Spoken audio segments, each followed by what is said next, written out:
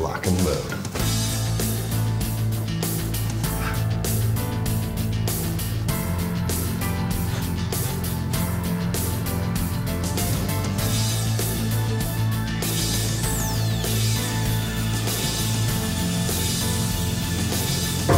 Tommy, you in there? Now's not a good time, Dad.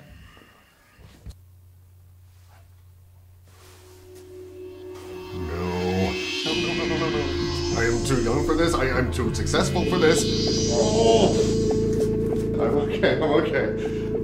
I hate you. I hate you. I was so I was on top of the world and now I'm below it. I hate you. Son, I think I know what's going on here. I don't think so, Dad. It happens to everyone. Even your old man. Really? You just got your second puberty. My second what? Second puberty! Ah, no big whoop. Here, read this. It helped me when I was your age.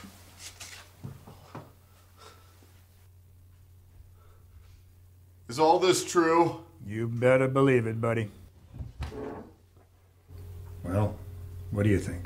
I think everything's gonna be okay, Pop. I think it will be too, kid. Listen, every man goes through second puberty. Hell, I went through it during the war. Can you imagine what that must have been like? No. Who's that? Well, at least you can do something about it. Yeah. I think it's time you had this. What is it? It's a Philips Norelco nose and ear hair trimmer. Magnificent. It sure is. I love you, Dad. Ah, come here, boy. Oh, it's been a long day. it's only morning.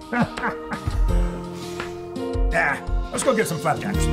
Sounds good, Dad. Son, have I ever told you the story of Frank Sack? Zach? I don't think so.